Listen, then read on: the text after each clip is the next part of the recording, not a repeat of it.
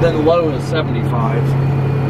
Some will be right in there, but they always say you don't want 100% uh, ground contact. But 95 to 97, 98 is where you're over. So that monitor just show, pretty much shows you everything Everything. possible. Pretty much.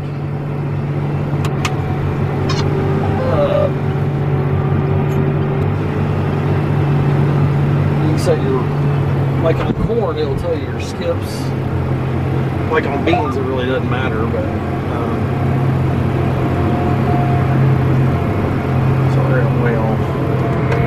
It's talking. but it goes through, it scans all your uh, row units. It tells the high population, like number three is high. I think the belt is loose, so it's.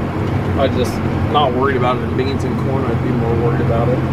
Um, you can set your population here. You can. Well, let me see. You can edit it, so you can put it up to wherever you want. That's pretty neat. It tells you singulation on corn, and it tells you like your variety. So just paint the variety. If I had two varieties, and paint two different colors. Percent ground contact, that's showing where it was lighter, red where it was really light. Green is like 100%.